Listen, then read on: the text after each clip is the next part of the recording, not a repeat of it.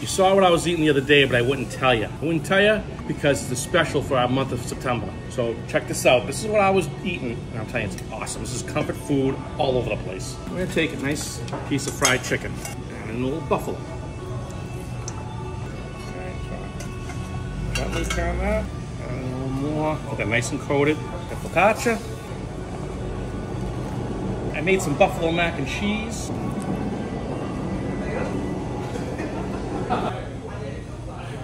Throw a little crumbled blue cheese over the top of that. Now, if you don't like the crumbled blue cheese and you're all gonna cry about it, just say I don't want crumbled blue cheese. I don't care.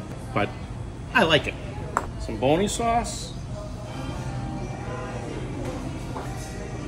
And there it is. That's what I was eating the other day. Fried chicken, buffalo style, with buffalo mac and cheese on it. I'll tell you, this is comfort food heaven. And if you're gonna eat it, you probably just gotta grab it and jump right into it. Boston Burger Company doing it right.